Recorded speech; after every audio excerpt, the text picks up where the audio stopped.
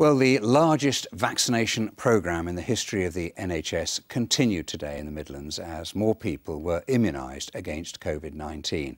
Injections have got underway at a number of hospitals in the region, but questions have been raised about the lack of supply in some areas with high case numbers. Our reporter Emma Thomas has been following this for us, joins me now.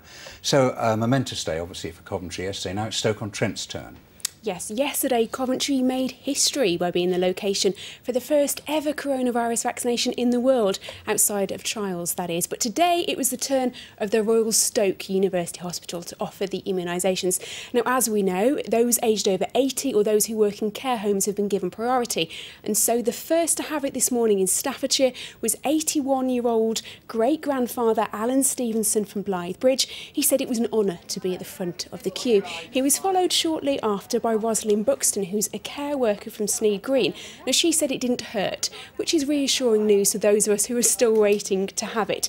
Now, anyone who's had the first injection will need a booster jab in 21 days' time to complete the inoculation. Yeah, it's always horrible seeing people being jabbed, I think. Anyway, uh, Stoke may already have the vaccine, but there is concern about places that don't. Yes, last week we got a list of the NHS trusts in the Midlands who were due to have the vaccine first. Now, notably absent was Birmingham.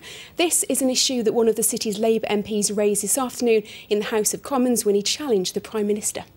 Could the uh, Prime Minister kindly explain to the people of Tier 3 Birmingham, population over 1 million and where almost 2,000 have lost their lives, why he doesn't consider them a priority for receipt of the vaccine.